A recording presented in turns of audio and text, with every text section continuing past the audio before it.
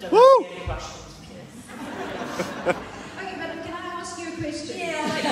Oh, I like you. Can I ask you, so, so what's so special, if indeed it is special, about Strawberry Field and the new centre, particularly for Beatles fans? Okay, well, these guys wouldn't know because they're Beatles fans, but for me as a guide, it's most probably one of the highlights when you're doing a tour, is when you turn that corner at the top of the hill and you play that music, and you bring them in, and there's just something so meaningful and so special once you take them through the gates, because they know when they get in there, it's going, they're going to see something special as well. Because you as fans, you know what Strawberry Field meant to John.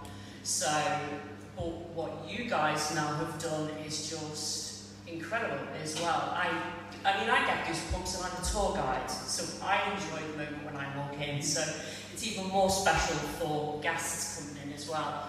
And between the exhibition centre and the gardens, this is where they usually find me in the gardens. I'm usually, I think the gardens are just incredible. But, sorry, I'm Gavin. Go on. Thank you, Charlie. Julia, well, everyone knows who you are, but they might be... Perhaps they can tell me. It wasn't that wild night last night, was it?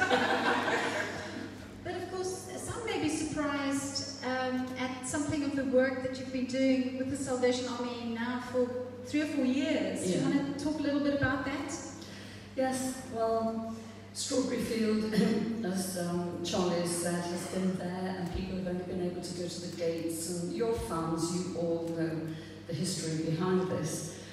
Uh, it never occurred, to, I any of us after the 1970s building deteriorated that anything will be done. In fact, lots of questions were asked about what will be done with this land. It's prime residential land in Liverpool, you all know that.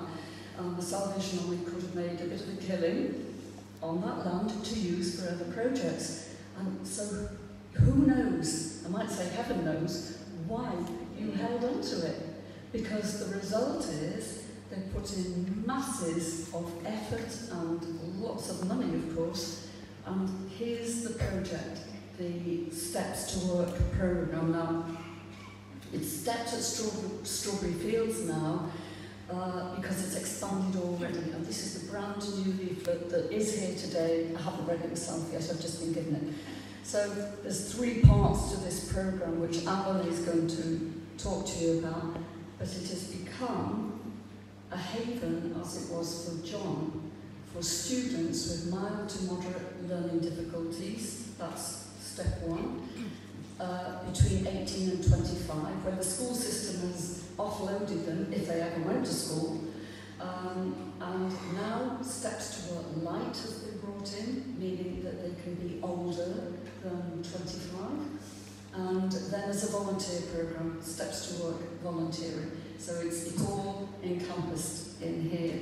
And of course the exhibition is what will fund what goes on in that programme.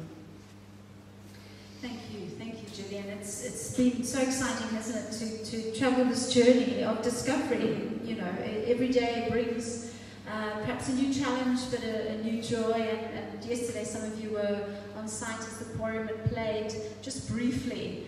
A very special place.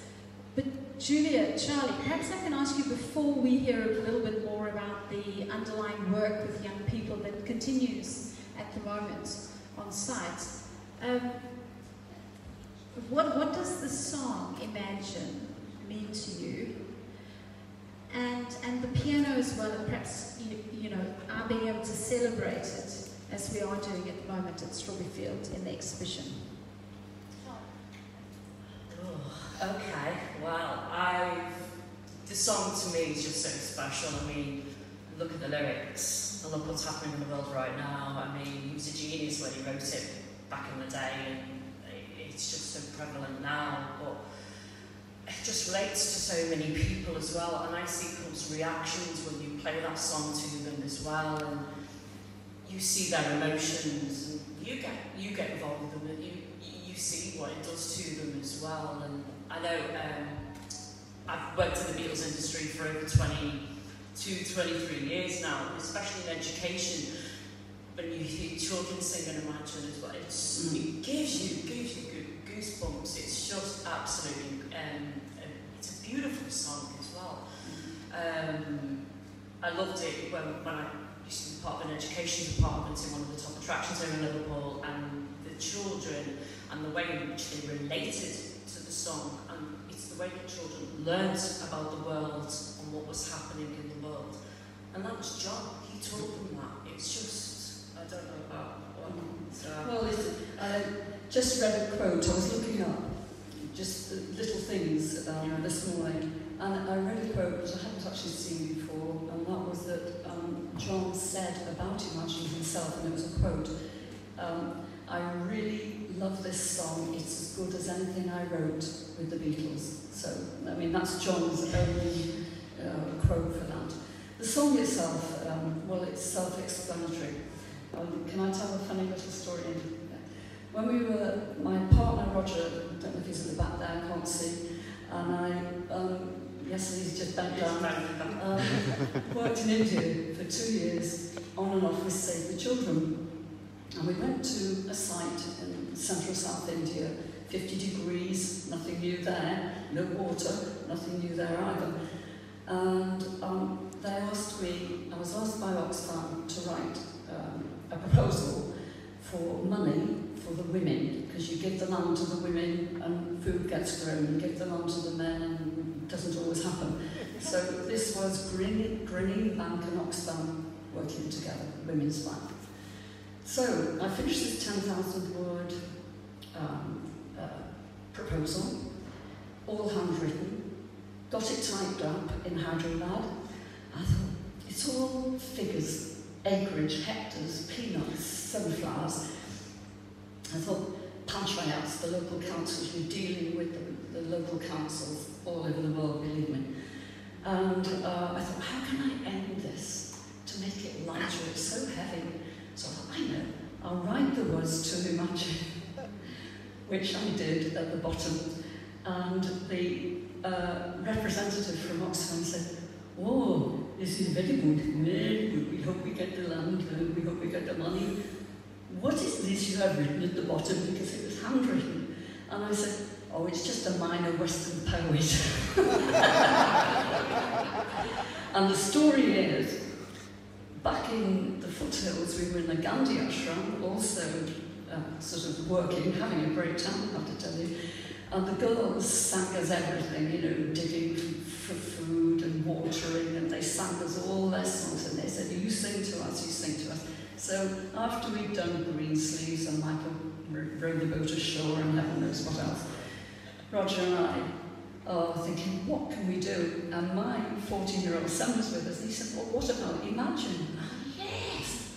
So we sat down with pen and paper, and about an hour later, we had Imagine, and then Imagine crossed out, and then there's something to do with the world, and we got a bus the next morning for 30 miles uh, to phone a friend back in Chester to say, Margaret, Margaret, don't talk, this is costing a lot of money. What are the words to imagine? She said, I don't know. and she said, leave it with me. And about 10 days later, they arrived in the post, the words to imagine. So that's the only reason I could write them on the report. that's that famous song. And it was good preparation for the filming that we did at the sites, because when nobody's singing the words, So really hard now those students there, if it's carried on, they will be singing Imagine. Yeah. Excellent, thank you, Julia. Well, now, one of the things that we are most proud about the new centre is the aspect of responsible tourism that we hope that we are displaying through the work that we're doing with the young adults. And I know it's something that you're particularly passionate about. Julia. So I thought I'd, I'd allow you to introduce Alan and his team as they come and share with us. Yes. Alan is the, um, the team leader, team coach, and he's got all this so much of the party because he because he's in it, right inside it. So it, everything is much better coming from Alan. So off you come, on you come.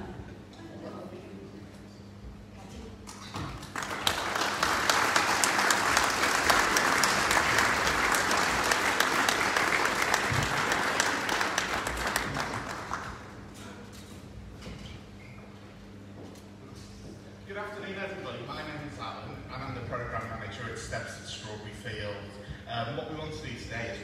share some of the insights and some of the successes that we've had with our programme so far. So the first thing I'd like to share with you is a photograph. This photograph was taken exactly two years ago in this very ballroom right in the far corner. And on the photograph we have some staff from Strawberry Field and we have some of our trainees from our very first cohort. So much has changed in two years throughout the world, but so much has changed for our trainees as well. Some of them have got jobs, so they're in paid employment, which is fantastic. One of them's engaged to be married, and one has even become a mum. So it's great just to look back over the two years and see what's happened with our people. I just wanted to sort of set the scene with steps to work. Julia has conveyed her passion about it already and what the need is. Nationally, only 6% of people with a learning disability are in paid employment, despite the fact that more than half of them want paid jobs.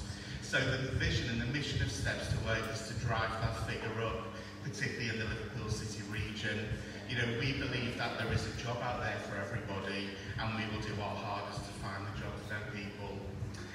The other thing on the slide as well is some research on learning disability today, which says there's lots of employment programs out there, but very few of them are actually